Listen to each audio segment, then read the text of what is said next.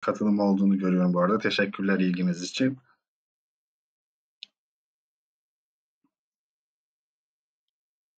Kendimi tanıtayım ilk etapta. Osman Aydın ismim. E, informatik bilişimde e, üçüncü yılıma yaklaşıyorum. Mart sonunda tam üç yılı tamamlamış olacağım. Bugün konuşacağımız ELM yani uygulama yaşam döngüsü yönetimi çözümleri tarafında ve yine portföyümüzde bulunan endüstriyel IoT ve artırılmış gerçeklik çözümlerinden sorumlu danışman olarak çalışıyorum informatikte. Ee, informatik öncesinde de yine bu çözümlerle, bu teknolojilerle ilgili e, çeşitli çözümler sunan firmalarda çalıştım. Bunların kimisi sistem entegratörü, kimisi e, distribütör, kimisi de bu alanlarda kendi çözümlerini geliştiren firmalardı. İnformatiğe dahil olduktan sonra özellikle bu teknolojilerin e, PLM çözümleriyle entegrasyon boyutuyla ilgili projelerde de görev almaya başladım. E, şu anda yürüttüğümüz projeler arasında CodeBeamer çözümünü bağımsız olarak konumlandırdığımız e, projeler olduğu gibi e, PLM çözümümüz Winchill ile entegrasyon boyutuyla da kullanan e, müşterilerimiz var. Yani ikisinin portföyüne geçtiğimiz yıl katıldı CodeBeamer. E, Haziran ayı itibariyle ve bu geçen 6-8 aylık kısa dönemde biz 8 projeye imza attık. Yeni projeler de gelmeye devam ediyor. Bunların arasında mevcut Windchill PLM sistemimizi kullanan müşteriler olduğu gibi e, CodeBeamer'ı bağımsız olarak konumlandırdığımız farklı PLM çözümleri kullanmayan ya da PLM herhangi bir PLM çözümü kullanmayan müşteriler de var. E, dolayısıyla e, bu teknolojinin kullanım alanları geniş zaten onlardan bahsedeceğiz bu şeyde. E, hem PLM ile entegrasyon boyutuyla hem e, ayrı olarak nasıl kullanılıyor e, bundan bahsetmiş olacağız. Şimdi katılımcılara da baktığım zaman özellikle şeyi görüyorum. PLM tarafında müşterimiz olan katılımcılarımız da var. Onunla ilgili bu entegrasyon tarafından bahsedeceğim. Hatta bir e, bu entegrasyon nasıl çalıştığı ile ilgili kısa bir, bir şey de göstereceğim. Video da göstereceğim. Ama e, şeyde ağırlıklı olarak webinar süresince e, CodeBeamer özelinde biz gereksinim yönetimi, test yönetimi, risk yönetimi başlıklarında CodeBeamer'ı nasıl konumlandırıyoruz? E, bunu konuşuyor olacağız. Hızlıca şöyle şeyi hatırlatmak istiyorum. Bizim bu ve diğer webinarlarımız, eğitimlerimiz e, hem informatikplm.com web sayfamızda hem de YouTube sayfamızda yayınlanıyor. E, bugün katılma imkanı olmayanlar olursa veya tekrar izlemek ya da meslektaşlarıyla, arkadaşlarıyla paylaşmak isteyenler olursa e, bu webinarın kaydını bu alanlara yüklüyor olacağız. E, dolayısıyla buradan da tekrar erişebiliyor veya istediğiniz kişilerle paylaşabiliyor olacaksınız. Bunu da hatırlatmış olalım. Şimdi ilk etapta CodeBeamer içerisinde hangi başlıkları biz ele alıyoruz veya ELM ne demek ondan bahsedelim. PLM ile kıyaslı olarak anlatalım hatta bunu. PLM çözümü ürün yaşam döngüsü yönetimi bildiğiniz üzere ve bunun altında ürün verilerinin yönetilmesi, e, ürün ağacı yönetimi yani BOM yönetimi, değişiklik veya konfigürasyon yönetimi e, veya kalite yönetimi gibi başlıklarımız var. E, müşterilerimizin birçoğu bunların bir ya da birkaçıyla ilgili bu PLM çözümümüzü uzun zamandır kullanıyorlar. E, CodeBeamer ise Yine burada da bir yaşam döngüsünden bahsediyoruz ama farklı olarak e, uygulama yaşam döngüsü yönetimi olarak isimlendiriliyor. Bunun içerisinde de e, gereksinim yönetimi, test yönetimi, yazılım mimarisi, yazılım yayın süreçleri ve yazılım mühendisliği gibi başlıklar var. Ama burada şöyle düşünülmesin ve yanlış anlaşılmasın lütfen. E, yazılım işte bizim firmamızda yazılım geliştirme faaliyetleri yok. O zaman CodeBeamer'ı konumlandıramaz mıyız gibi düşünülebilir. Hayır kullanabilirsiniz tabii ki. Bu bahsettiğim işte yakın zamanda Beamer ile ilgili çalışmaya başladığımız firmaların birçoğu özellikle gereksinim yönetimi ve test yönetimi amaçlarıyla kullanıyorlar CodeBeamer'ı. Her, herhangi şimdilik işte yazılım geliştirme faaliyetleriyle ilgili e, adım atmayanlar da var. Yazılım geliştirme süreçleriyle ilgili CodeBeamer'ı kullananlar da var. E, ama bunun bir zorunluluk değil. Yani yazılım geliştirme evet günümüzde giderek daha önem kazanan ve her firmanın e, süreçlerinde yer vermeye başladığı bir e, olgu. Özellikle teknolojinin gelişmesiyle birlikte ve işte yapay zeka, endüstriyel IoT gibi kavramların giderek yaygınlaşmasıyla birlikte e, her firma geliştirdiği ürünleri ürünlerin yanında yazılım geliştirme faaliyetleri de yürüterek ya da bu ürünleri akıllı hale getirerek e, her yeni üründe e, belki işte gömülü yazılımlar, belki de ürünlerin akıllı hale getirilmesi veya bağlı hale getirilmesiyle ilgili yaptıkları yatırımlarla birlikte yazılım geliştirme süreçlerine de gün geçtikçe daha çok yer veriyorlar. Ama dediğim gibi bu, bu bir zorunluluk değil. Bir firma geliştirdiği ürünler çerçevesinde mekanik tasarım faaliyetleri yürütüyor olabilir. Elektrik, elektronik tasarım faaliyetleri yürütüyor olabilir. Yazılım geliştirme faaliyetleri. Bunların tümünü yapıyor olabilir veya bunlardan en az birini yapıyor olabilir. Bunlardan en az birini yapan firmalar da Codebeamer'ı gereksinim yönetimi ve test yönetimi süreçlerinde kullanabilirler.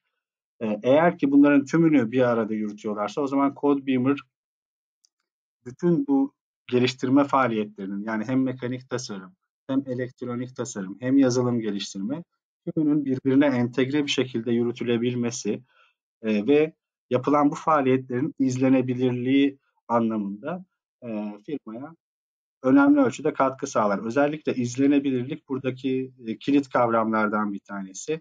Biz e, burada Codebeamer içerisinde nasıl Winchill PLM içerisinde işte ürün yaşam döngüsü ve fazlarımız var. Hani Winchill kullanan PLM kavramına aşina olan müşterilerimiz için aktarıyorum.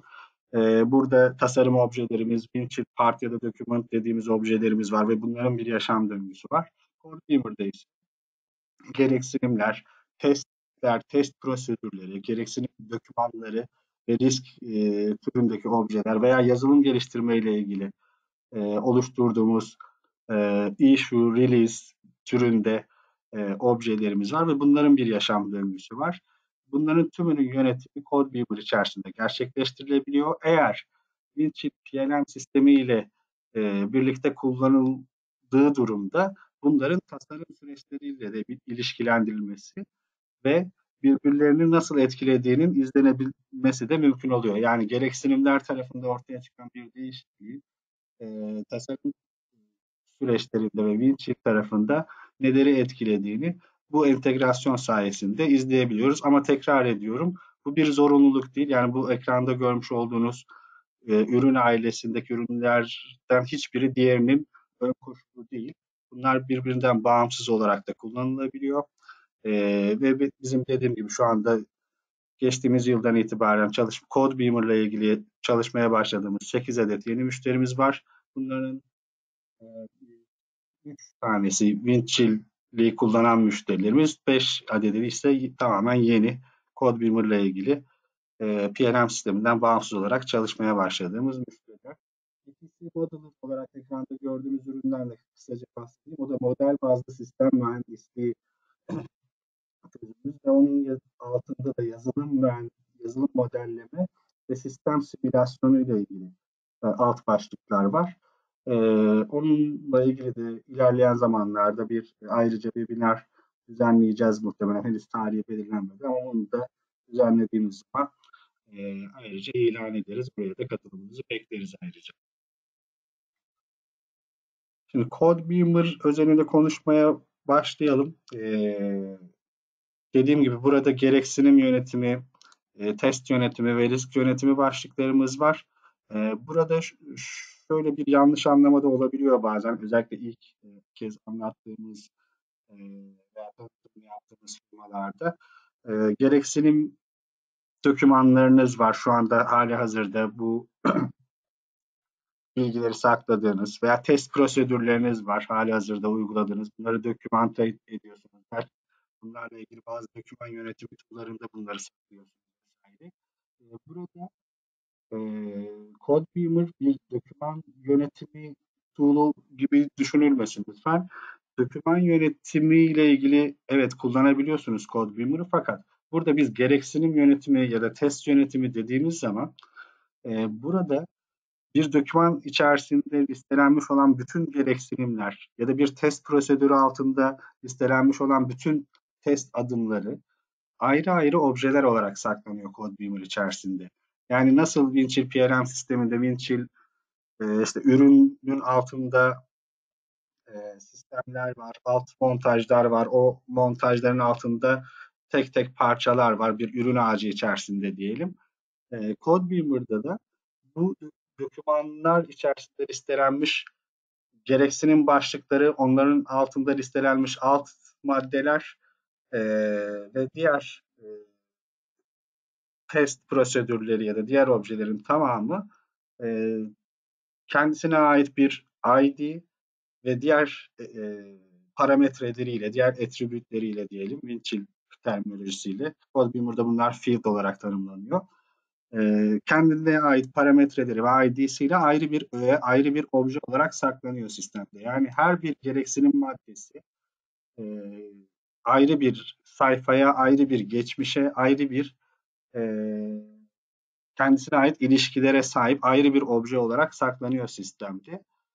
Dolayısıyla her bir madde için yapılan tüm işlemler, bunun, bunun yaşam döngüsünde hangi fazlardan geçeceği, bu bunun sorumlusunun kim olduğu ya da faz geçişleri oldukça sorumluluğun kimlere el değiştireceği, kimlere atanacağı e, ve bu geçişler oldukça kimlerin hangi yetkilere sahip olacağı sistem içerisinde rahatlıkla konfigüre edilebiliyor.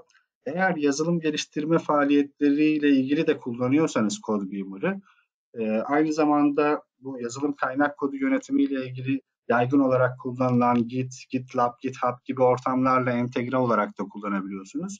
Bu sayede de e, yazılım konfigürasyon yönetimi ya da versiyon yönetimi ile ilgili de e, kullanabilmiş oluyorsunuz CodeBeamer'ı. Ama dediğim gibi bu bir zorunluluk değil.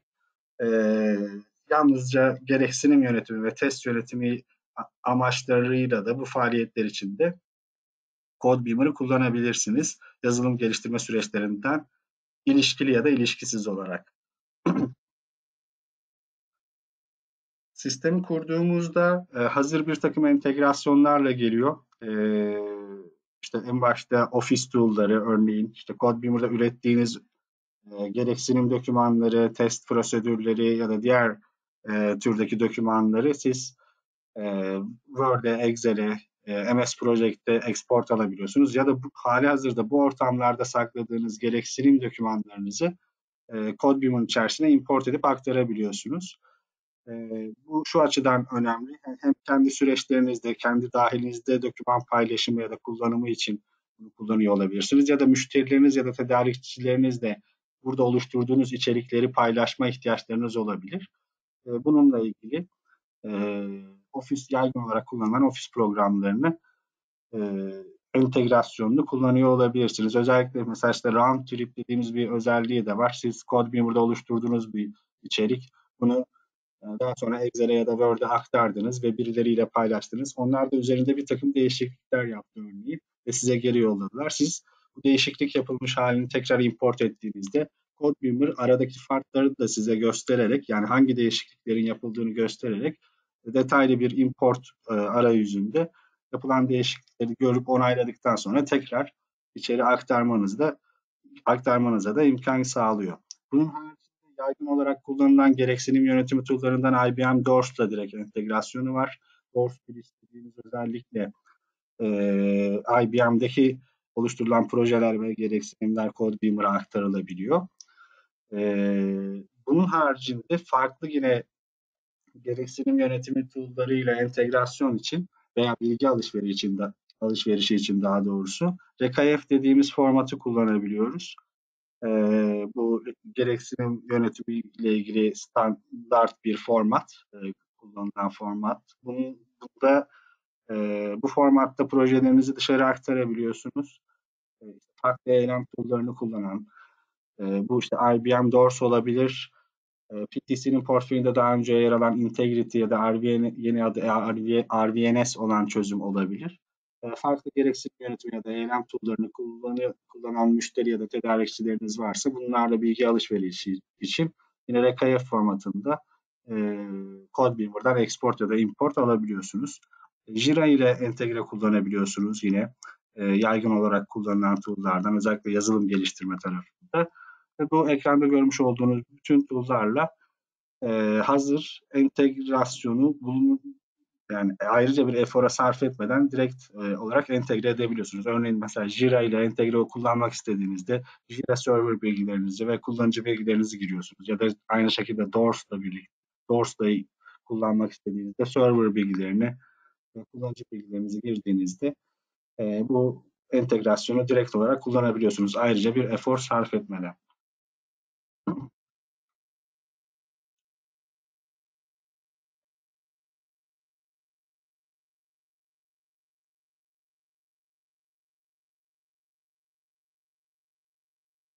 Bu arada bu anlattığım kısımlarla ilgili sorularınız oldukça e, soru bölümüne yazabilirsiniz. E, webinarı tamamladıktan sonra, yani ben gösterimimi tamamladıktan sonra bu sorularınızı ayrıca sonunda cevaplayacağım. Bunu da şimdiden belirtmiş olayım. Winchill'de entegrasyon boyutundan bahsetmiştik. Yani Winchill PLM sistemiyle entegre kullanılabildiğinden. E, bu yapıya biz dijital product traceability adını veriyoruz ya da dijital ürün izlenebilirliği gibi Türkçeleştirebileceğimiz bir kavram. E, izlenebilirliğin bu anlamda önemli olduğundan bahsetmiştim. Önemli bir kavram olduğundan. E, PLM sistemimiz Winchill ile entegre ettiğimizde Codebeamer'ı biz OSRC dediğimiz bir protokolü kullanıyoruz. E, bu Open Source Lifecycle Collaboration olarak geçiyor. Bu yaygın olarak kullanılan bu tür entegrasyonlarda bir protokol ve iki sistemi bu sayede birbirine çift yönlü olarak entegre edebiliyoruz. Yine başlangıçta bahsettiğimiz PTC Modeler ya da Winchill Modeler ürünümüz de aynı şekilde OSLC üzerinden bu ürünlerimize birbiriyle entegre olarak kullanılmasını sağlayabiliyoruz. Çift yönlü entegrasyondan kastımız şu, e, siz Codebeamer içerisinde oluşturduğunuz gereksinimleri örneğin e, Winchill içerisindeki partlara bağlayabiliyorsunuz. Yani Codebeamer arayüzünde e, gereksinimleri oluşturduğunuz sayfada bu iş için tanımladığımız bir field alanında e, girip e, Winchill içerisinde arama yapıp ilgili partı bulup bu o gereksinimle ilişkilendirebiliyorsunuz. Ya da Winchill arayüzünde e, ilgili partın sayfasında e, traceability ekranımızda e, Codebeamer'ın içerisindeki projelere ve gereksinimlere erişip bunları numarasına ya da ID'sine göre e, arama yapıp Codebeamer içerisinde Winchill Part ile ilişkilendirebiliyoruz ve ilişkilendirdikten sonra da o gereksinimin detaylarını yine Winchill arayüzünde görüntülememiz mümkün oluyor. Dolayısıyla da dediğim gibi işte gereksinimler tarafında oluşturulan bir değişikliğin e, Winchill tasarım tarafına nasıl yansıdığı ya da aynı şekilde Winchill'de oluşan bir değişikliğin gereksinim tarafında hangi değişiklikleri tetiklediği bu sayede, bu yapı sayesinde takip edebiliyor. Biz uyarı mekanizmaları da tetikleyebiliyoruz. Yani bu değişiklikler olduğu zaman e, diğer tarafta işte suspected dediğimiz uyarı e, bildirimlerinin çıkarılmasını sağlıyoruz. Bu sayede de e, her iki tarafta bağımsız olarak çalışan birimler yaptıkları işlerin birbirini nasıl etkilediği ile ilgili izlenebilirliği bu anlamda sağlamış oluyorlar. Birkaç slide daha göstereceğim. Daha sonra arayüz ile devam ediyor olacağız. Çok fazla slaytla zaman harcamak istemiyorum. Burası önemli. Bundan da bahsedelim. Ee, Codebeamer'ın yaygın olarak kullanılması ve tercih edilme nedenlerinden bir tanesi de sektörlere özel sağlamış olduğu şablonlar. Ee, işte otomotiv sektörü özelinde örneğin ISO 26262 ya da ESPICE standartlarını adresleyen ve bunun yanında farklı burada hani özellikle yaygın kullanılan standartları e, daha çok biz değiniyoruz ama bunun haricinde işte mesela siber güvenlikle ilgili olan standartlar var ayrı. E, başka yine o sektör özelinde karşılanması istenen başka başka standartlar var. Bu standartların e, tümüne cevap verecek şekilde buradaki geliştirme faaliyetlerinizi e, düzen düzenleyebildiğiniz ve hazır konfigüre edilmiş şablonlar bunlar. Aslında proje şablonları. Biz Codebeamer'da arayüze geçtiğimizde göreceğiz. Projeler üzerinde çalışıyoruz ve bu, bu projelerde e, tracker dediğimiz öğeler altında işte gereksinimlerimizi, testlerimizi veya diğer objelerimizi yönetiyoruz. Bu şablonlar ise hazır olarak tanımlanmış, oluşturulmuş ve konfigüre edilmiş e, öğeler sağlıyor bize. Yani proje içerisine girdiğinizde işte gereksinim türünde oluşturulmuş ya da diğer e, test prosedürleriyle ilgili oluşturulmuş hazır öğeler olduğunu görüyoruz ve bunların da e, iş akışları yani hangi süreçlerden geçtikten sonra yaşam döngüsünü tamamlayacağı burada tanımlanmış oluyor. E, tabii ki siz bu yapıyı kendinize adapte edecek, edecek şekilde konfigüre edebiliyorsunuz. Ve bu şablonları kullanarak e, kendi süreçlerinize uygun bir e, konfigürasyon oluşturabiliyorsunuz elbette. Ya da kendi şablonlarınızı oluşturabiliyorsunuz. Ama bu şablonlar e, hem e, içinde bulunduğunuz sektörün standartlarına uygun bu ürün ya da yazılım geliştirme faaliyetlerinizi yürütmenizi sağlıyor. E, hem de sıfırdan her şeyi konfigüre etmek yerine hazır bir baz e, konfigürasyon sunuyor size. Siz bunun üzerinde e, minimum seviyede değişiklikler yaparak kendi süreçlerinize bu şablonları adapte edebilmiş oluyorsunuz. Dolayısıyla da sistemi hızlı bir şekilde devreye almış ve kullanmaya başlamış oluyorsunuz.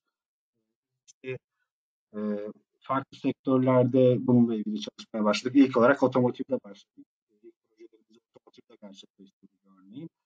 E, bu yerli otomobil üreticisi e, bir firmamız da Codebeamer kullanmaya başladı. Hani PLM o tarafında farklı bir çözümü kullanıyor olmasına rağmen işte özellikle gereksinim yönetimi, fonksiyonel emniyet e, ve risk yönetimi tarafındaki birimlerinin kullanılması amacıyla e, Codebeamer'ı tercih ettiler. E, epey e, yüksek sayıda bir lisans alarak e, ve orada ki projede biz bu şablonlardan yararlanarak onların kendi şablonlarını oluşturabilmesine e, destek verdik. Bu kendi oluşturdukları konfigürasyonlar sayesinde de e, bu şablonları kullanarak aslında süreçlerini hızlıca adapte edebilmiş oldular Codebeamer'ı e, ve hızlı bir şekilde devreye alınmış oldu. Diğer birçok müşterimizde de aynı şekilde bu şablonlardan yararlanarak biz sistemi devreye almış olduk. Şimdi otomotivden bahsettik ama işte havacılık ve savunma tarafında DO-178C ile ilgili ayrı bir template'imiz var. Onun haricinde ilaç sektörüyle ilgili GAMP ve SAFE template'leri var. Medikal cihaz üretimi yapan ya da medikal yazılım geliştiren firmalar için ayrı template'ler var.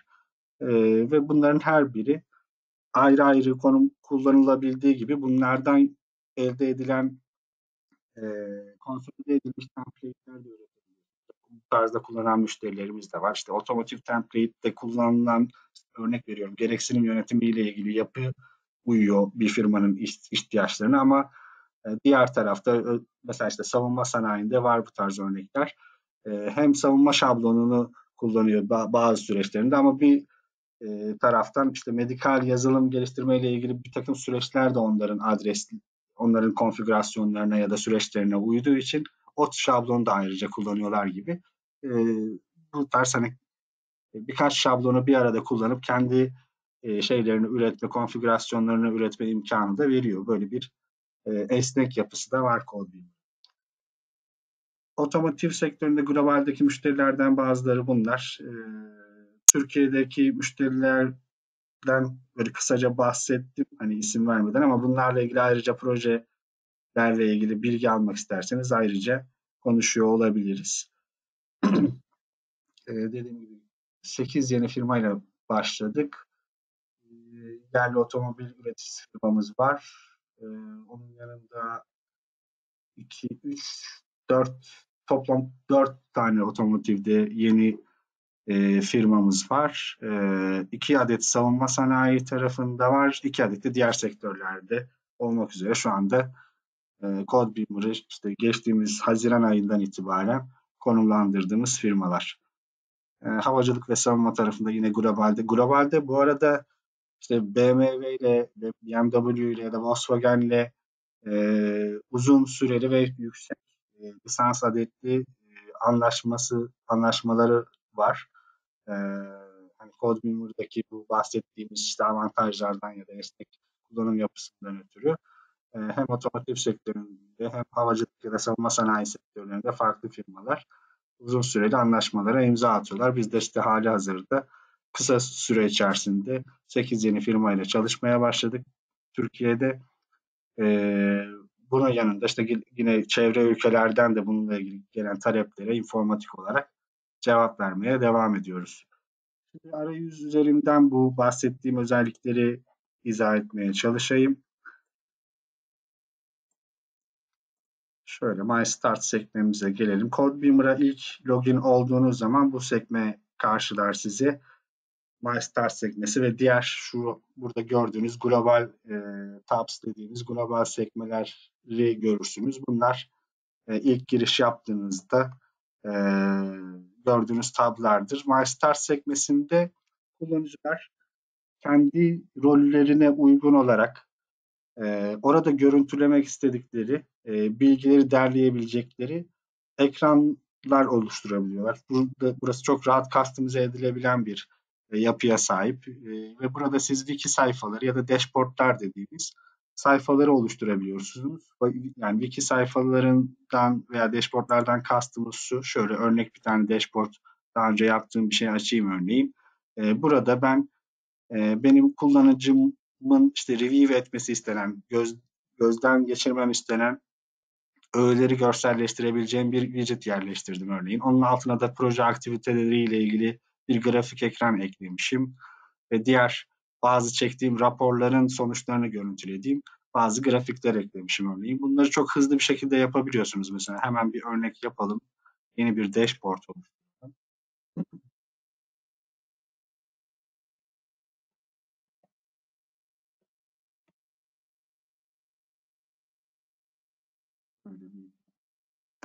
İsim verelim örneğin. Bu description alanına e, farklı bilgiler getirebilirsiniz, derleyebilirsiniz. Onu da şöyle mesela hemen düzenleyelim. Consumer, webinar, dashboard diye bir baş, başlığı olsun. Bu başlığı işte şuradaki formatlardan düzenleyebiliriz. Buraya e, işte Advanced Options altından örneğin tablo ekleyebilirim. Satır ya da sütun sayısını belirleyerek. Ee, bunun altına işte örnek vereyim ihtiyaç varsa diyagram ekleyebilirim. Bir diyagram editör sayfam var ayrıca. E, burada da diyagramlar oluşturup bu diyagramı bu sayfama ekleyebilirim.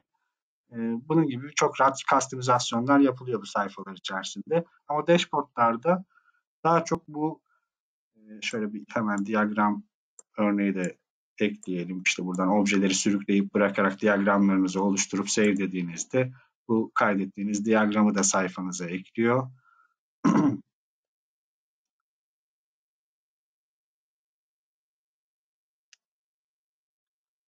Dashboardlarda da çoğunlukla bu widget dediğimiz görselleştirme araçlarını kullanıyoruz. İşte demin gördüğümüz grafikler gibi ya da listeler ya da tablolar gibi. E, ve bu e, edit ekranında da işte burada ver, ver vermek istediğimiz herhangi bir türde veri olabilir, bilgi olabilir, projelerle alakalı veriler olabilir. E, ya da mesela şöyle seçenekler de var. Şuradan Advanced Options'a geldiğimde Insert Wiki Markup dediğim zaman işte warning, error ya da information türünde bilgiler de girebiliyorum buraya. Mesela e, burası bu dashboard sayfası CodeBeamer webinar demosu amacıyla oluşturulmuştur gibi bir info ibaresi olsun. Insert diyelim buraya. Buraya da save diyelim. Yeni dashboard sayfamı bu kaydettiğim bilgilerle birlikte oluşturmuş oldu. Şimdi bunun e, description alanı bu bilgileri girdim. Bir de widgetler burada oluşturabiliyorum. Buradan sayfanın layout'unu değiştirebilirim. E, işte ikiye bölerim, bölebilirim, üçe bölebilirim sayfayı. Şuradan sonra ikiye bölelim. Ayrı ayrı widgetler yerleştirelim.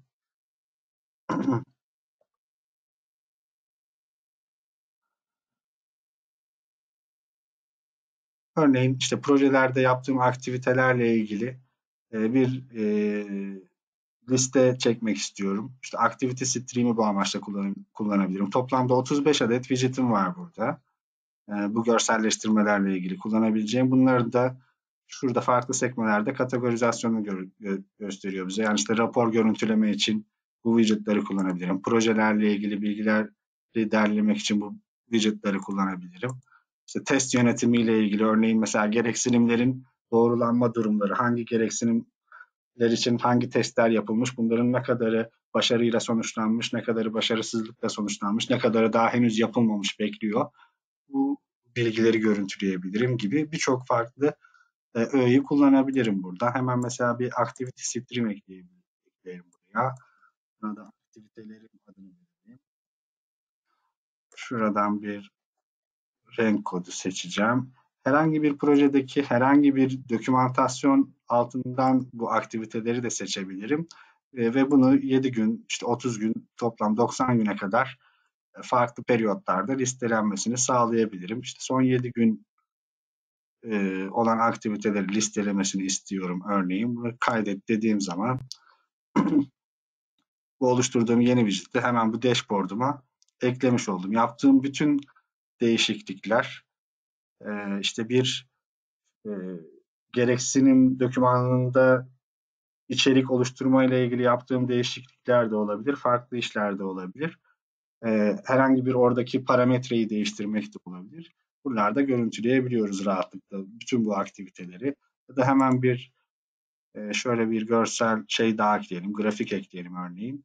Grafik için daha önceden oluşturduğumuz raporları veri kaynağı olarak kullanıyoruz. Ben örneğin mesela bir e, üzerime atanmış görevlerle ilgili bir rapor oluşturmuştum ve bunların statülerine göre gruplandığı bir rapor çekmiştim. Bu raporu kaynak olarak seçtiğimiz zaman örneğin e, direkt olarak bu grafik ekrana onun sonuçlarını yansıtıyor ve üzerimdeki görevlerin işte tamamlanmış olanlar, devam edenler, yeni oluşturulanlar gibi kategorilerine göre gruplandığı bir grafiği de buraya hemen ekleyelim örneğin. Bu şekilde bu dashboard sayfalarını ya da wiki sayfalarını hızlı bir şekilde konfigüre edebiliyorsunuz. Mesela wiki sayfalarında işte burada demin oluşturduğuma benzer şekilde içerikler oluşturabiliyorsunuz ama bu çok daha zenginleştirilebiliyor da bu alanlar. Örneğin burada şöyle bir şeye de yer verelim. İşte Codebeamer'ın knowledge base dediğimiz support sayfaları da aynı bu şekilde wiki sayfaları şeklinde düzenlenmiş sayfalar. Örneğin işte mesela e, bir formülle hesapladığınız filtre alanları ile ilgili bilgilerin yer aldığı bir wiki sayfası. İşte demin bizim oluşturduğumuz gibi bir info ibaresi eklenmiş. Burada başlıklar ayrı ayrı düzenlenmiş. E, ve burada da bir ağaç yapısı içerisinde bu hiyerarşi gösteriliyor örneğin. E, dolayısıyla bir wiki sayfalarında da bu tarz işte görseller ekleme, e, info ibareleri ya da caution işte warning türünde, uyarılar türünde ibareler ekleme gibi e, çok geniş seçeneklerimiz var. Bunlar e, gereksinimleri yazdığımız, oluşturduğumuz, derlediğimiz ortamlarda da e, bu tracker dediğimiz yapıların içerisinde de geçerli. O yüzden böyle detaylı bahsediyorum. Şimdi e, süremiz de ilerliyor. Bir yandan gereksinimlerin oluşturulmasıyla ilgili tarafa hızlıca yönlenelim. E, şimdi burada e, örneğin ADAS template projemiz üzerinden ilerleyelim. Şuradaki proje yapısından da hızlıca bahsedelim. Burada proje sekmesine tıkladığımızda ilk etapta bizi proje kartları şeklinde, burada renkli kartlar şeklinde projelerimizi görüyoruz. E, ve burada da farklı kategoriler altında e, projelerimizin yer aldığı ekranlarımız var. Burada istersem yeni kategoriler ekleyebilirim. Bunlar işte modelleriniz, varyantlarınız olabilir.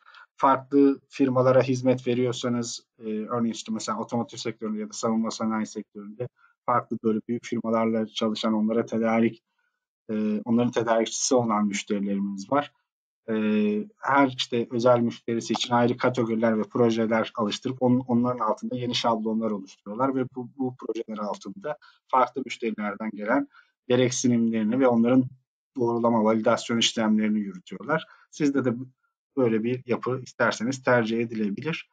Ee, ve burada istediğiniz kadar kategori oluşturup bunları da projelerinizi bunlar altında düzenleyebiliyorsunuz. Bunların görünürlüğü de yine aynı şekilde düzenlenebiliyor. İşte bu kartların görselliği e, değiştirilebilir. Pardon, projenin içine girmiş oldum.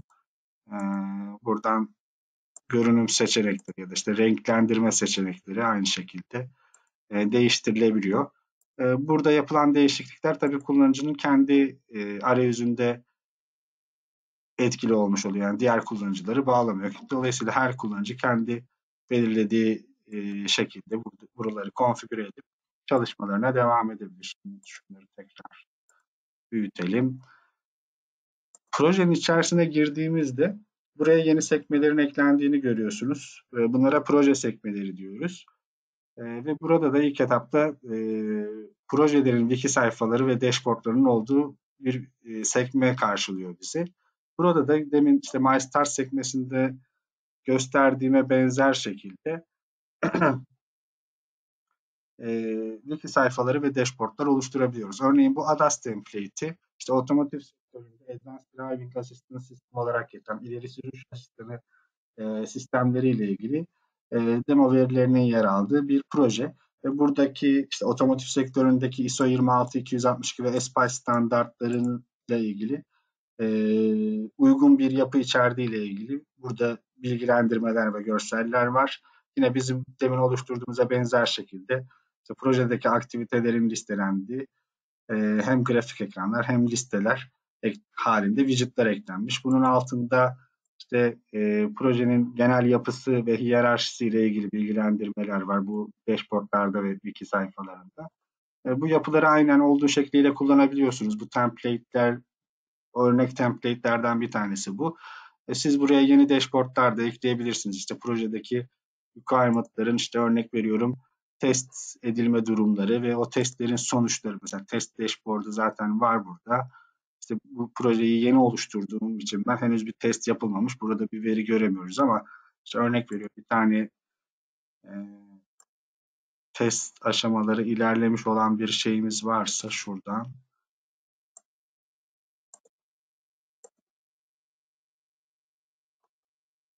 Mesela yani birkaç burada testi bu proje altında gerçekleştirmişiz. İşte bunların ne kadarı başarıyla sonuçlanmış, ne kadarı fail olmuş, kaç test yapılmış, kaçı henüz daha yapılmamış vesaire gibi bilgileri bu ekranlarda rahatlıkla görebiliyorsunuz. Biz şimdi yeni projemiz üzerinden devam edelim.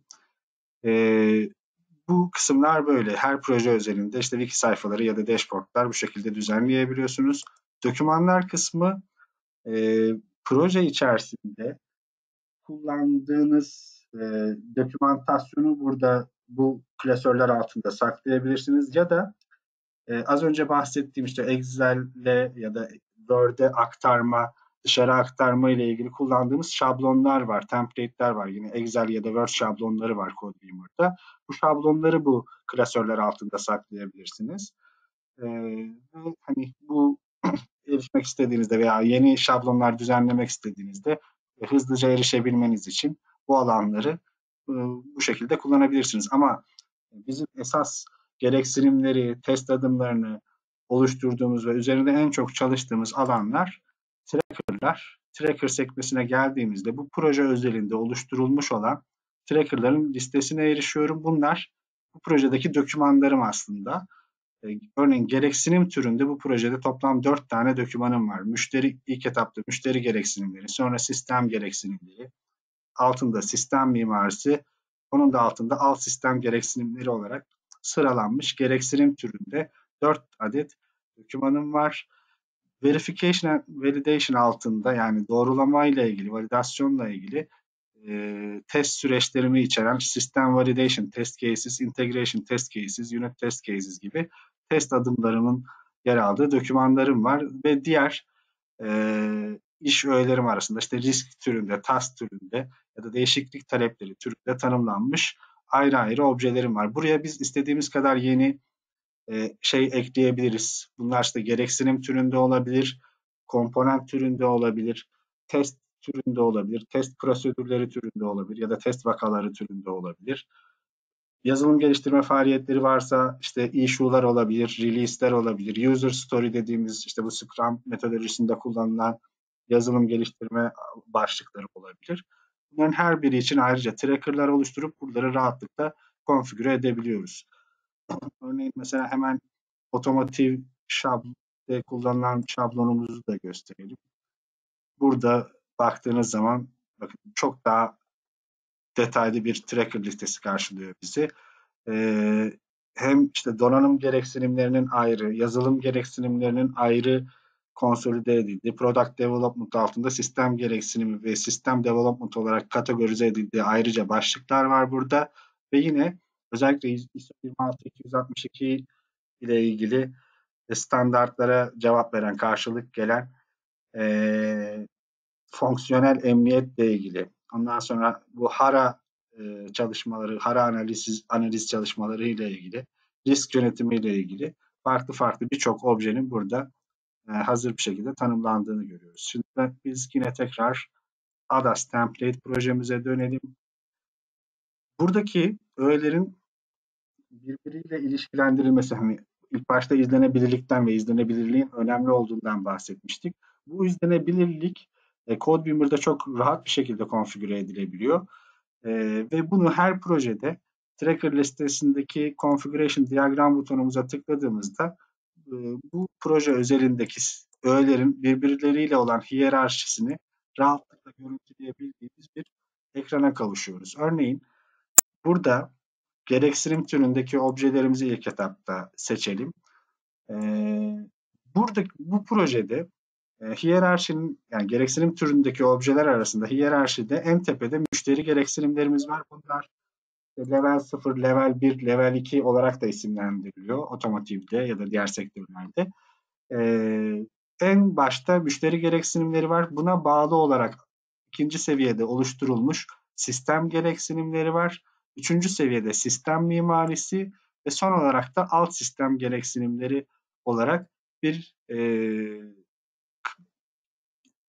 hiyerarşi oluşturulmuş durumda. Örneğin bunların doğrulama adımlarıyla olan ilişkilerini görmek istersem, mesela System Validation Test Cases'e tıkladığım zaman System Validation Test Cases'in sistem gereksinimlerinin doğrulama adımlarını içeren test adımlarını içerdiğini görüyorum. Integration Test Cases'e tıkladığımda e, sistem mimarisi altında listelenen gereksinimlerin Integration Test Cases altında yer aldığını görüyorum. Unit Test Cases'e tıkladığım zaman da e, alt sistem gereksinimlerinin e, doğrulama adımlarının Unit Test Cases altında listelendiğini göre, görebiliyorum. Dolayısıyla buradaki e, yapıya bakarak şuradaki diğer öğeleri de eklediğim zaman bütün ilişkileri ve hiyerarşiyi görmemi sağlıyor.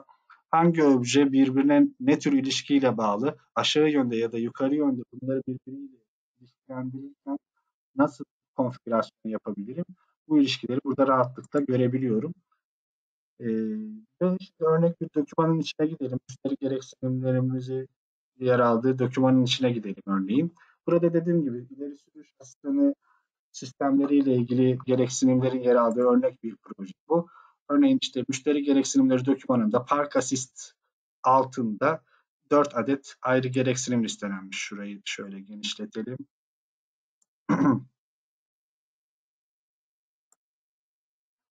E, soldaki yapı da işte bir ürün ağacında olduğu gibi e, gereksinim maddelerinin ve alt başlıklarının yer aldığı hangisinin e, ana madde hangisinin alt madde olduğunu görüntülediğim bir e, ürün ağacına benzer. Ağaç yapısı var. Bunların içerisinden seçim yaparak maddelerime erişebiliyorum. Orta alanda seçmiş olduğum e, gereksinim maddesinin içeriğini gösteriyor bana. Şu an işte en tepede örneğin park asist özelliğim var. Onun altında bir görsel eklenmiş bu özellikle ilgili. Altında da gereksinimin açıklaması eklenmiş ve diğer gereksinim maddeleri bunun altında listelenmiş bir şekilde bir yapıyı görüyorum burada. Yani dokümanın ya da gereksinimlerin içeriğini bu orta alanda bana gösteriyor. Ve buradan mesela bir gereksinim maddesini seçtiğim zaman hemen, hemen beni onun içeriğine yönlendiriyor. Sağ alanda ise e, bu seçmiş olduğum gereksinim maddesinin sistemdeki bilgilerini görüntülediğim, detaylarını görüntülediğim bir, alan var. Örneğin şu an seçtiğim e, işte araç yeterli boşluk olduğunda otomatik paralel bir şekilde park edebilmelidir diye bir gereksinim maddesi yazılmış. Bunun e, sistemde CRS 2897 numarasıyla kaydedildiğini görüyorum. Onun altında bu gereksinim için tanımlanmış olan field öğeleri yani parametrelerin bir listesini görüyorum. Ve altında da bu gereksinim maddesinin az önce gösterdiğim hiyerarşiye bağlı olarak aslında hem, hem yukarı yönde hem aşağı yönde referanslarının olduğu e, ve ilişkilerinin görüntülendiği bir e, kısım var. Yani aynı ekranda ben hem e, aynı doküman içindeki gereksinimlerin bir hiyerarşisini hem içeriğini hem de o gereksinim maddesinin sistemdeki kayıt bilgilerini, parametrelerini ve diğer objelerle olan ilişkilerini aynı ekranda rahatlıkla görüntüleyebiliyorum. Bu doküman görünümü dediğimiz görünüm ve gereksinim türünde bir tracker oluşturduğumuzda doküman görünümü default görünüm olarak geliyor. Ama bunun, bunun yanında farklı görünüm seçeneklerimiz de var. Örneğin mesela buradan tablo görünümüne geçtiğim zaman aynı gereksinim dokümanını bu sefer tablo şeklinde görüyorum.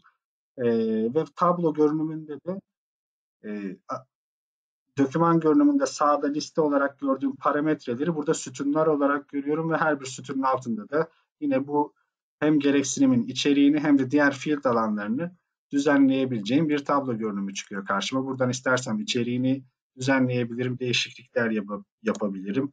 Buraya işte edit content 1 diye bir şey ekleyelim örneğin.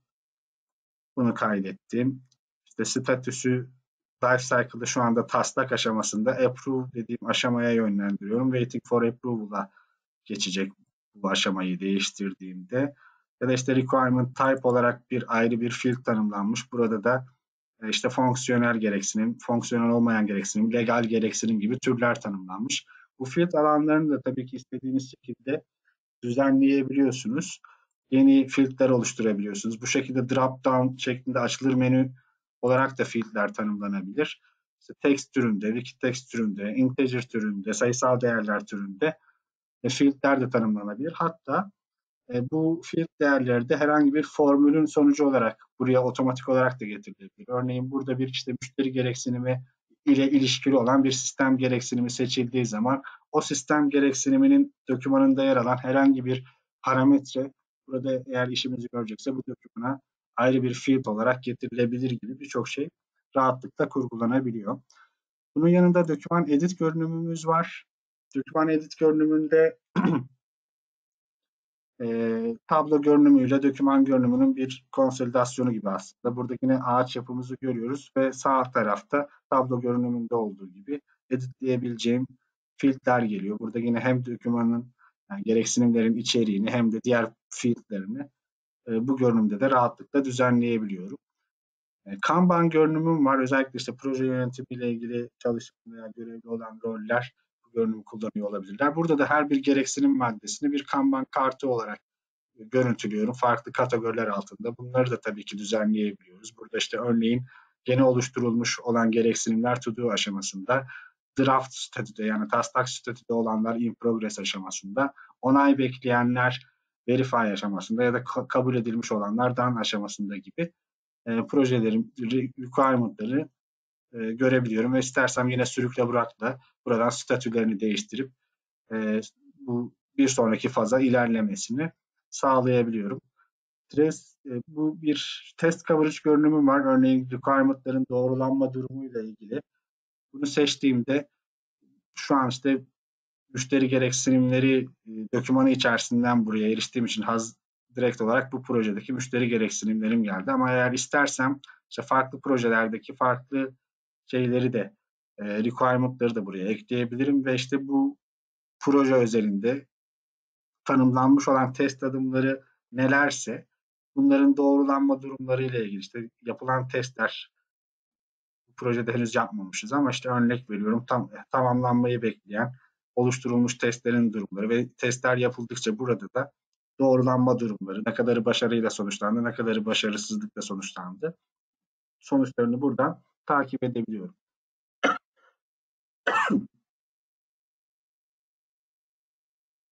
Bir saniye bekleteceğim. Çok pardon.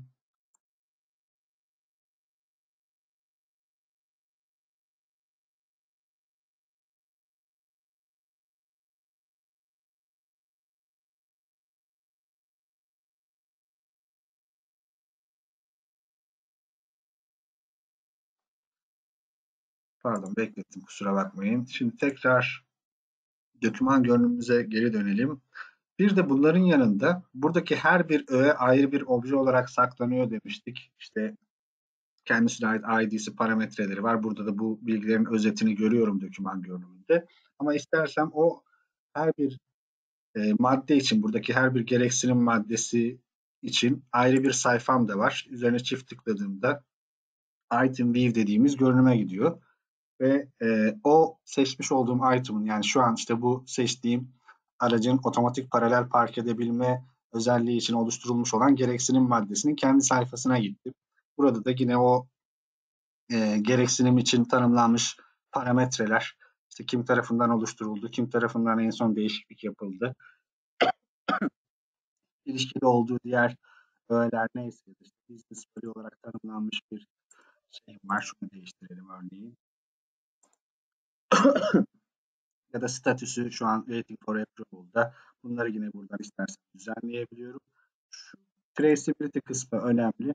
Traceability altında bu seçmiş olduğum sayfasına gittiğim gereksinim maddesinin farklı seviyelerde bana hem yukarı yönde hem aşağı yönde bağlantılarını ve ilişkilerini gösteriyor. Yani şu an seçtiğim işte araç otomatik yeterli boşluk olduğunda otomatik olarak paralel park edebilmelidir e, diye tanımlanmış CRS 2897 ID'li gereksinim yukarı yönde bir işte Park Assist adındaki bir feature ile ilişkilendirilmiş, özellik ile ilişkilendirilmiş ve bir release ile aynı zamanda ilişkilendirilmiş.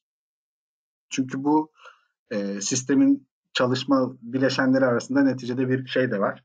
E, yazılım faaliyetleri de var. Örneğin bu işte otomatik boşluğu algılama ve park etme ile ilgili yapılacak yazılım faaliyetleri sonunda yayınlanmış bir release var. Bununla ilişkilendirilmiş. Ve aşağı yöndeki referanslarına baktığımda da demin mesela hiyerarşisinden bahsetmiştik. E, müşteri gereksinimlerine bağlı sistem gereksinimleri olduğundan bahsetmiştik hiyerarşide. Örneğin bu müşteri gereksinimiyle ilişkili olan sistem gereksinimi maddesini burada görebiliyorum.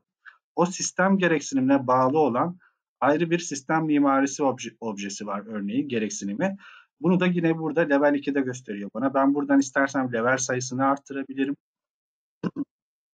3 yaptığım zaman örneğin e, aynı zamanda bu sistem mimarisine bağlı bir de alt sistem gereksinimim var.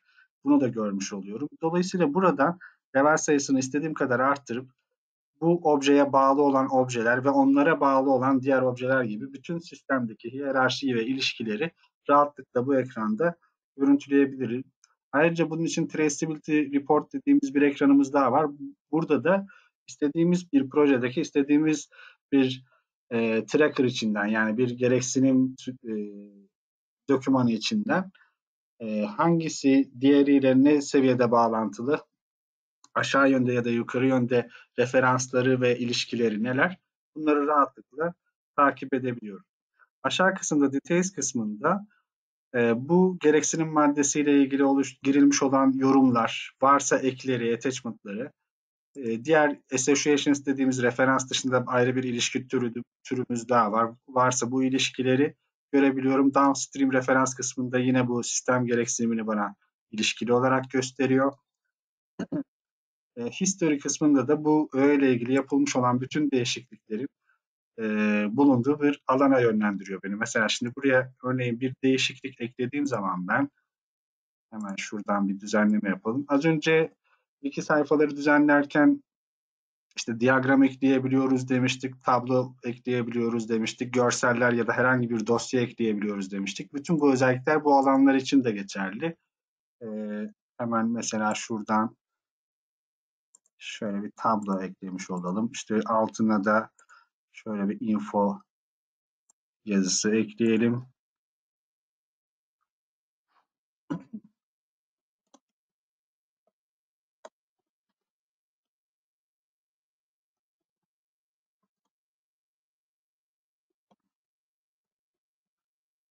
Böyle bir ibare olsun. Kaydettim. Şurada bir yanlışlık yaptım herhalde.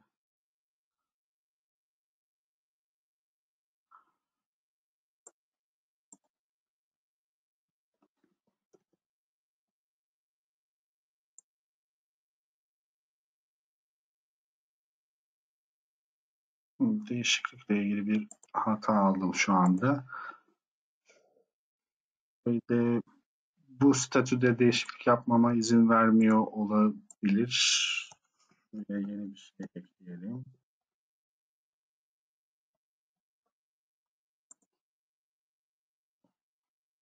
Buraya ekledim örneğin. Muhtemelen approval state'de olduğu için değişiklik yapmama izin vermedi. Bu tür şeyleri de düzenleyebiliyorsunuz.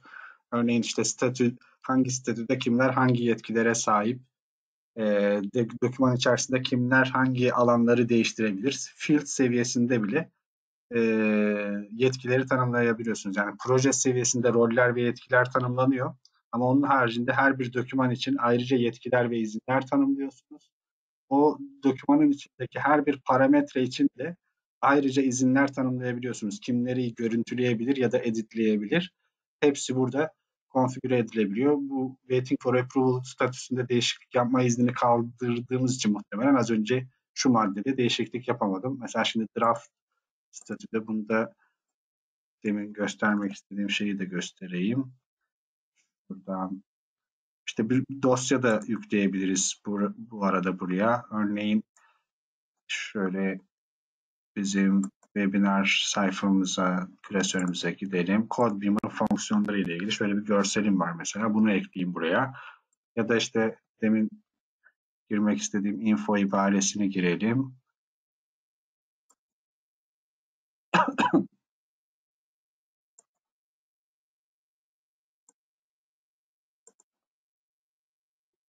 Demo amaçlı sinimdir diyelim yeterli. Çok uzamasına gerek yok.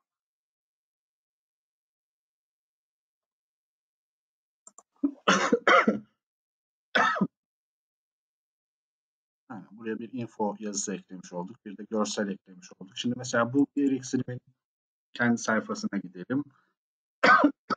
Pardon.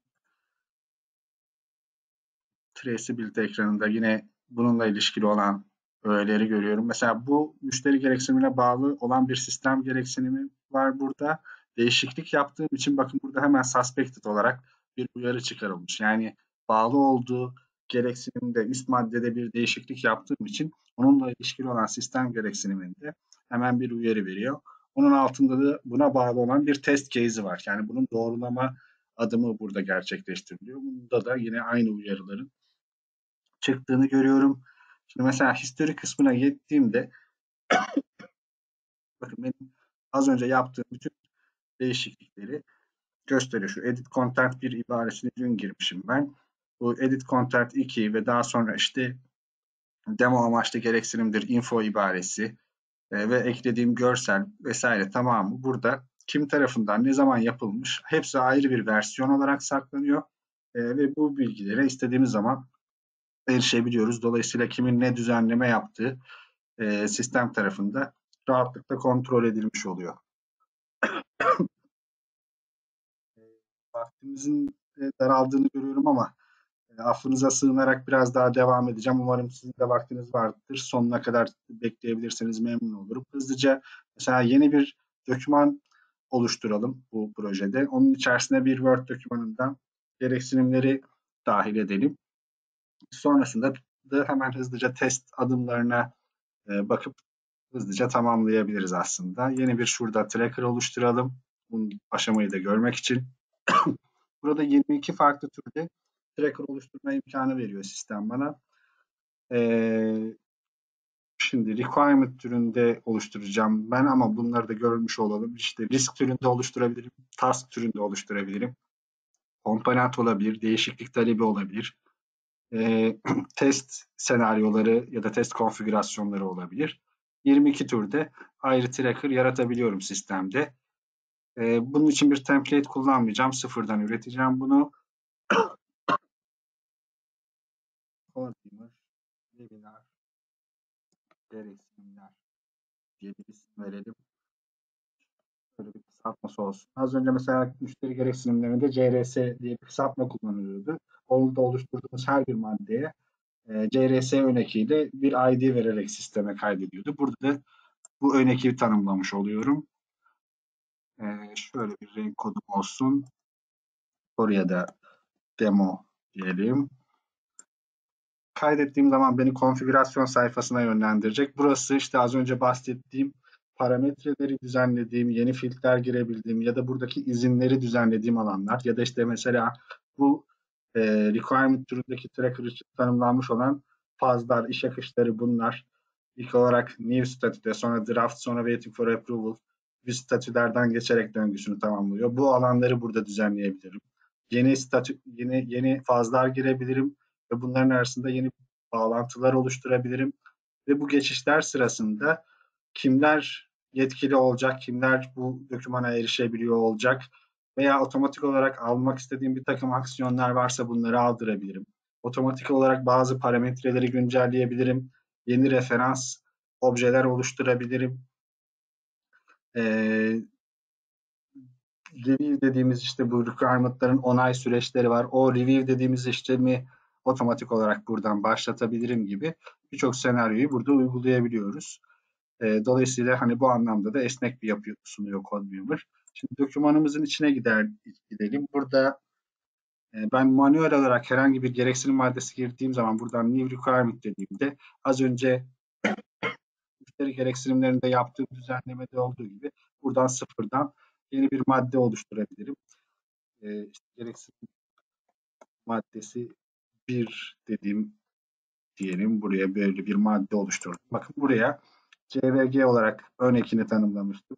E, CWG 2978 numarasını vererek gereksinim maddesi biri bu parametrelerle birlikte kaydetmiş oldum.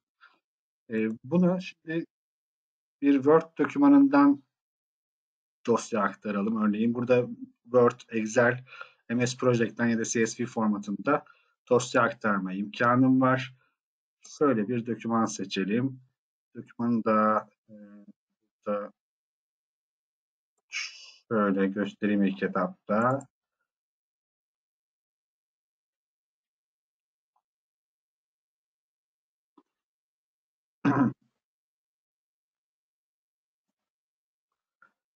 Örneğin böyle bir dokümanımız var. İşte çeşitli başlıklar ve altında açıklamaları yer alan ve bir takım görsellerin olduğu işte e, şasi, işte karbon fiber plastik structure, süs, süspansiyon vesaire gibi başlıklar ve küçük alt başlıklar var görüyorsunuz. Bunun altında da açıklamaların yer aldığı düz bir doküman aslında. Bunu import etmek istediğimde ilk etapta beni bir preview ekranına yönlendiriyor. Burada da ben kendi belirlediğim kurallara göre bu dokümanı e, CodeBeamer içerisine seçtiğim kriterlere göre aktarabiliyorum. Şimdi şu anda bunun için bir preview ekranı direkt olarak oluşturdu. Sağ kısımda belirli kurallara göre e, bu importu gerçekleştirme imkanım var.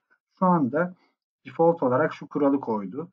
Tüm stil, başlık stillerine sahip, başlık 1, başlık 2, başlık 3 karakterlerine sahip bütün öğeleri burada al ve onların alt başlıklarını da e,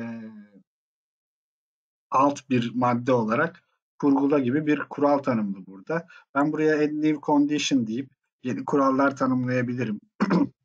işte şu ifadeyi içeren, bu ifadeyi içermeyen gibi e, kurallar koyabilirim. Mesela buraya örnek veriyorum vehicle dediğimde ve preview dediğimde işte vehicle ibaresini içerenleri sadece alıp diğerlerini hariç tutuyor gibi yeni kurallar tanımlayabilirim. İstersen bunu şu an içinde bulunduğum CodeBeamer Webinar gereksinimler dokümanına da atabilirim ya da başka tracker'lara da işte demin girdiğimiz mesela müşteri gereksinimleri, sistem gereksinimleri tracker'ları içerisine de atabilirim. Şimdi bunu hariç tutacağım. Tekrar bütün maddeleri dahil edeceğim ve hepsini bu webinar gereksinimler dokümanı içerisine atmasını istiyorum.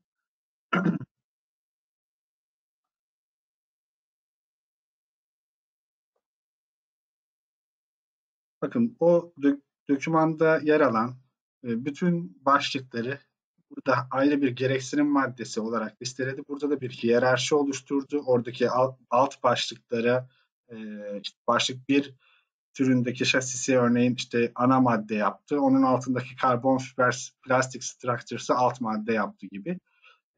Bir hiyerarşi de oluşturarak oradaki başlık e, statüsüne göre her bir oradaki maddeyi bur buraya sisteme aktarmış oldum. Ve işte şasisten başlayarak e, her bir madde kendisine ait ayrı bir ID ile ayrı bir e, kendisine ait parametrelerle ve referanslarıyla tabii şu an herhangi bir objeyle ilişkilendirmedik ama e, sisteme kaydedilmiş oldu. Bu dakikadan sonra ben bununla ilgili test senaryolarını tanımlayabilirim.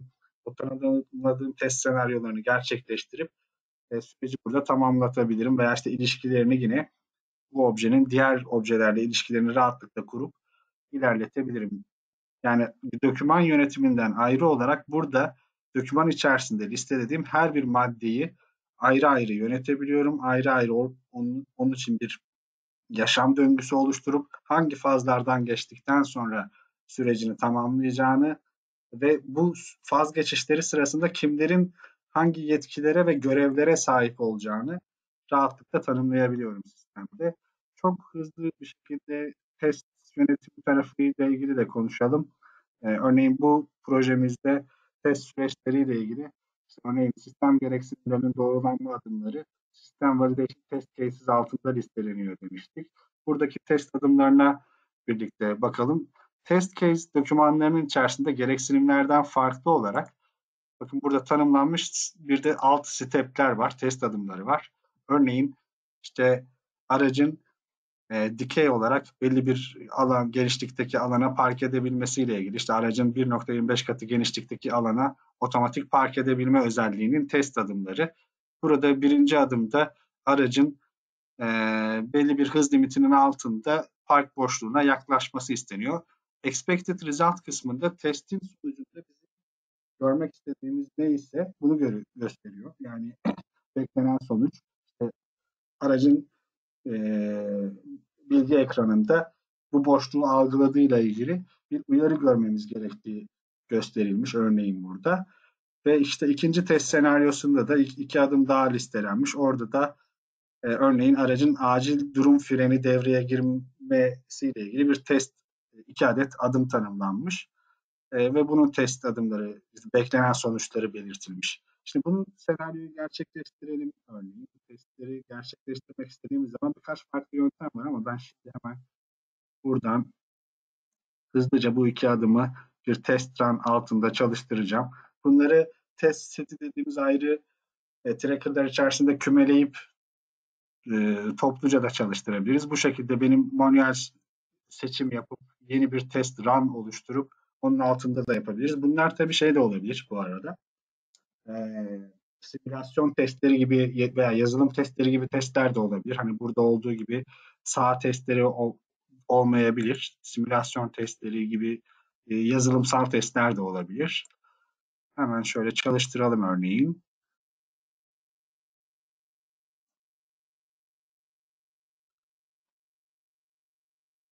Şuradan test run'ımızı oluşturduk. Şunun içerisinde çalıştıralım.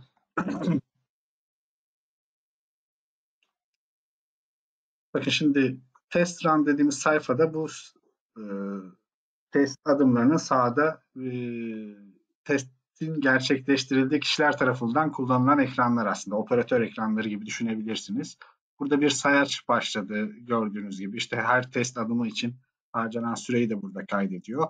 Ve az önceki dokümanda gördüğümüz test adımlarını burada görüyorum. Burada ise actual result kısmında buraya içerik girebilme ve testin sonuçlarını, detaylarını girebilme imkanım var. İstersem bir dosya yükleyebilirim. Bir işte video da olabilir bu. Testle ilgili çektiğim bir video olabilir. Simülasyon testini içeren bir video olabilir. Görsel imaj olabilir. Ya da bu testin sonuçlarına ayrıca girdiğim bir Excel tablosu gibi bir şey de olabilir. Herhangi bir türde dosya yükleyebilirim. Kendim içerik girebilirim. Bu testin sonucunda sonuçlar elde edilmiştir vesaire gibi düzenleyebilirim istediğim gibi burayı. Ee, ve sonucunda da testin başarılı ya da başarısız olduğuyla ilgili seçeneklerim var. Bunlardan seçim yaparak testi tamamladığımla ilgili bilgiyi de burada e, conclusion ekranında kaydedip giriş yapabiliyorum. Birinci adımı tamamladık. Sonra ikinci testin ilk adımına geçti. İşte acil durum freninin devreye girmesiyle ilgili. Bu da işte örnek veriyorum başarılı gibi bir şey yazalım şimdi hızlıca. Çok önemli değil. Sonra buna da PES diyelim. bu son adımda diyelim bir sıkıntı yaşadığımızı varsayalım. Buraya başarısız yazalım. Buraya da fail step diyelim.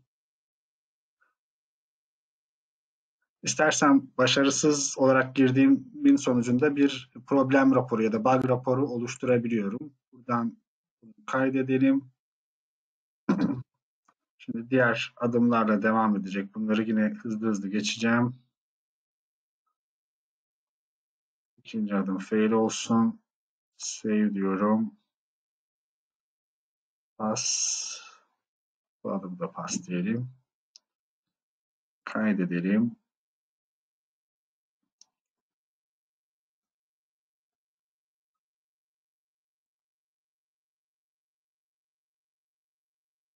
Şimdi testi tamamladık. Her bir adımda girdiğim sonuçlara göre bana testin %60'ını başarıyla sonuçlandı, %40'ı fail ile sonuçlandı. İşte toplamda 5 e, tane test case'in 3'ünde olumlu sonuçlar elde ettik. İkisinde başarısız sonuçlar elde ettik. O test sonuçlarının detaylarını da yine burada Details of Test Results kısmında bana detaylarıyla veriyor. Her bir adımda elde edilen sonuçlar neler? Bunların detaylarını burada görüntüleyebiliyorum. Ve testi gerçekleştirdiğim ve tamamladığım ekranda bakın bütün historiyi veya işte ilişkileri görüyorum aslında. Ben şu anda gerçekleştirdiğim iki tane test case dokümanındaki testleri gerçekleştirdim.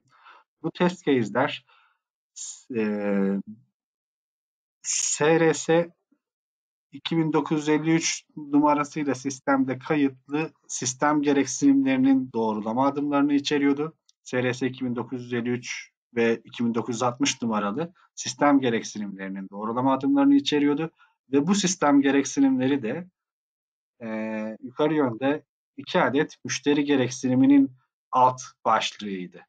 Yani ben yaptığım testi uyguladığım sayfada dahi bütün yaptığım test hangi gereksinimleri doğruluyor, o gereksinimlerde hangi gereksinimlerin alt başlığı gibi bütün ilişkileri yine bu ekranda da rahatlıkla görebiliyorum. Son olarak e, Winch bağlantısından bahsedeceğimi söylemiştim. Onu da hızlıca şöyle iki videoyla göstereyim. Ve e, varsa sorularınızı alayım sonrasında. Kusura bakmayın zamanı açtığımız için. E, anlatılacak çok konu var aslında. Mümkün olduğunca bahsetmeye çalıştım. E, umarım verimli geçmiştir. Ama burada hani bahsedilmeyen ya da daha sonra merak ettiğiniz şeylerle ilgili ayrıca e, benimle iletişime geçip bilgi alabilirsiniz ya da işte e, yaptığımız projelerle ilgili, örneklerle ilgili ayrıca detaylı bilgi almak isterseniz ayrıca seanslar düzenleyebiliriz.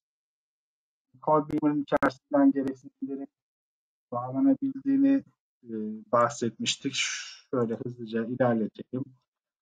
Örneğin işte bu sayfada gereksinimleri oluşturduğumuz sayfadan yarattığımız bir fikir üzerinden Winch ile erişip Winch'in içerisinde arama yapıp e, ilgili parçaya, Winchill parta ulaştıktan sonra onu buradaki gereksinime bağlayabiliyoruz.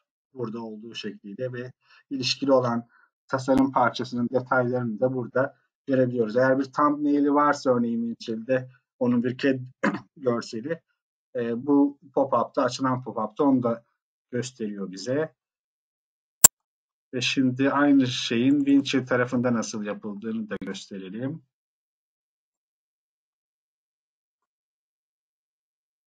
Winchill'de Collaboration altında ayrıca bir sekme oluşturulmuş. Buradan Trace to tabında yeni bir trace oluştur dediğimizde ilgili CodeBeamer sunucusunu seçip resource olarak requirement'ları seçip oradan CodeBeamer projelerimiz listeleniyor aşağıda. İlgili projeyi seçip aç dediğimizde ve e, ismine ya da ID'sine göre ilgili requirement'ı bu sefer CodeBeamer tarafında aratıyoruz.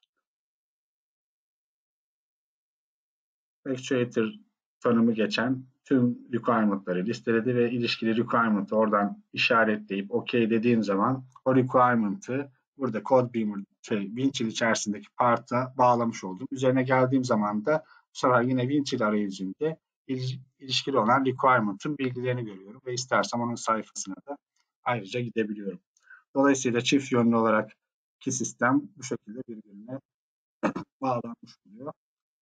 E, diye bu şekilde tamamlamış olalım. E, dediğim gibi zamanı açtığımız için kusura bakmayın tekrar. E,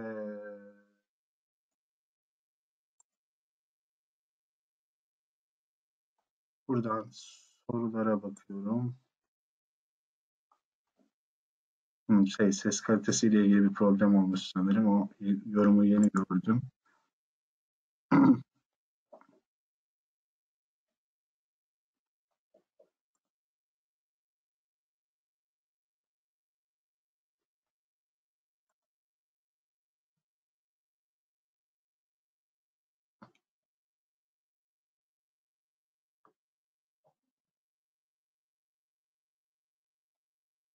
Tamamdır. Ee, bu şekilde tamamlayalım isterseniz. Ayrıca hani süreyi de yeterin bayağı bir açtık. Ee, sonrasında sorularınız olursa dilediğiniz zaman bana ulaşabilirsiniz sistemle ilgili. Ayrıca e, kendi süreçlerinize uyarlama ile ilgili bilgi almak isterseniz Codebeamer hakkında ayrıca seanslar düzenleyebiliriz. Ben katıldığınız için tekrar çok teşekkür ediyorum. Daha sonraki webinarlarda görüşmek üzere diyelim. Hoşçakalın.